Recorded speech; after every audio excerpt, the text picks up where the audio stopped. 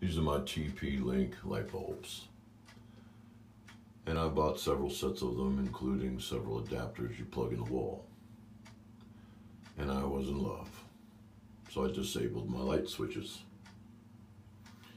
Alexa, turn the bathroom on. Bam, she'd answer that quick.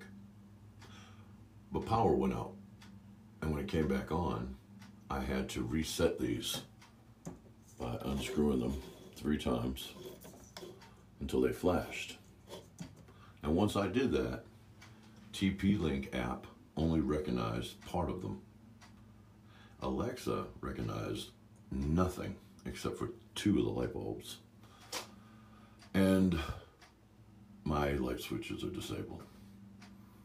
And we've been dealing with this now for about three weeks trying to get them to re uh, connect. I mean, from uninstalling to reinstalling, you name it. And I can't get it to work. So now I have to get my light switches back because my dumb butt decided to go with modern technology. It'll let you down every time, won't it?